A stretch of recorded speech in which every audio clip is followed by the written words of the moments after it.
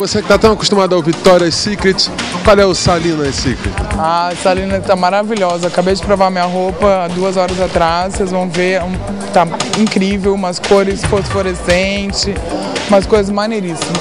É mais gostoso desfilar no Brasil ou desfilar lá fora? Brasil, com certeza. Todas as pessoas que eu amo, que eu trabalho há anos, prestigiar meu país, né? Lógico. Tá Obrigado, querida. Tchau, tchau.